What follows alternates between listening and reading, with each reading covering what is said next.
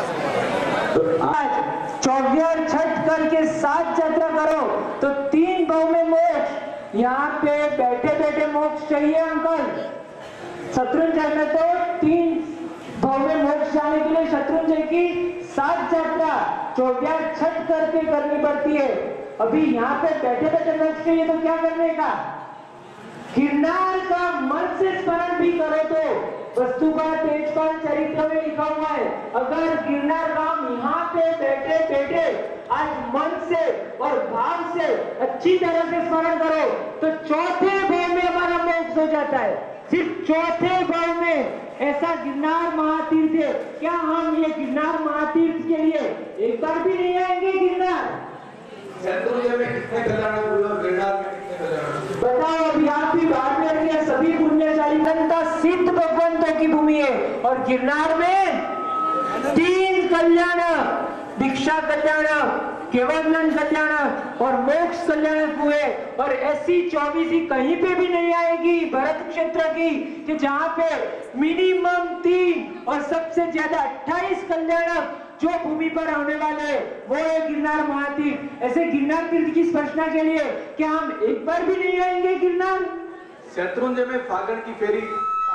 तेरस को होती है तो क्या गिरनार में भी ऐसा कुछ होता है? यहाँ पे अभी एक अंकल थे ना, वो पूछने के लिए आए थे।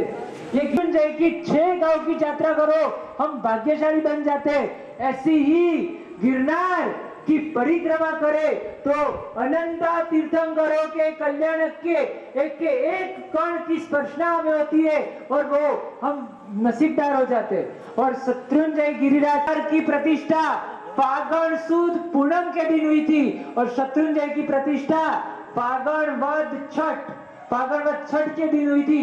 ऐसे गिरनारों के कैवल्य ज्ञान कल्याण की भूमि है। ऐसे गिरनार की, की स्पर्शना के लिए हम एक बार भी नहीं आएँगे गिरनार। सिद्धाचल में कितने मंदिर पुराने और गिरनार के अंदर कितने हैं? बाड़मेर में कितने पुराने? सबसे पहले तो मुझे ये पूछना चाहिए बाड़मेर में सबसे प्राचीन प्रतिमा जी कौन 400 साल।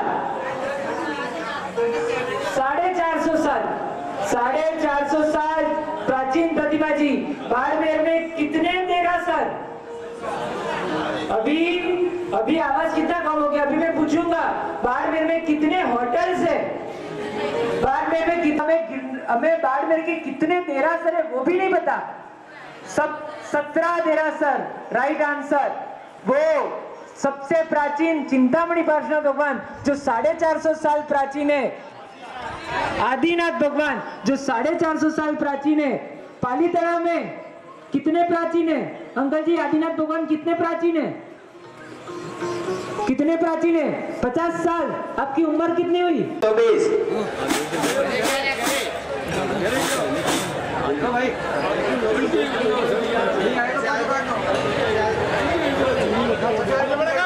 नौ सौ चौबीस नंबर।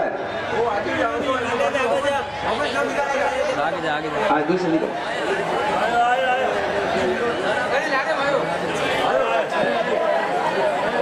लकी ड्रॉ के लाभार्थी पवन जी संकलेशा की अनुभव तालियों के साथ में करें। ये प्रथम विजेता।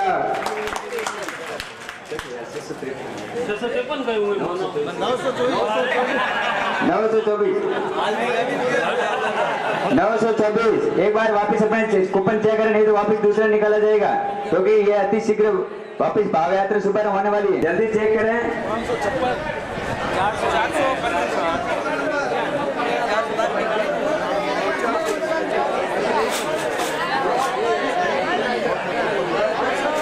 पाँच सौ छप्पन, नौ सौ चौबीस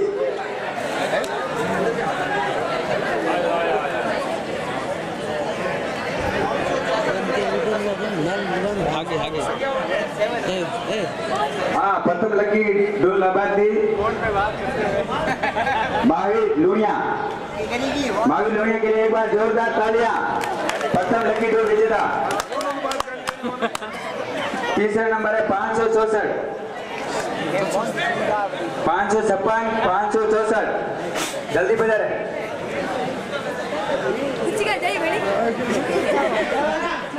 你们去。饭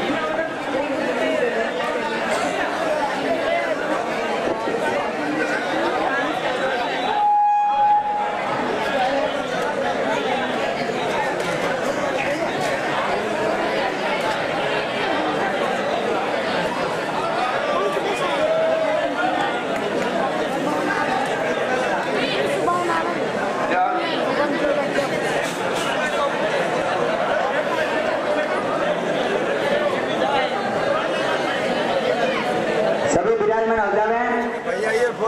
बाकी दस दो अंतिम में निकाले जाएँगे जो यहाँ उपस्थित होंगे उनको भी इनाम दिया जाएगा।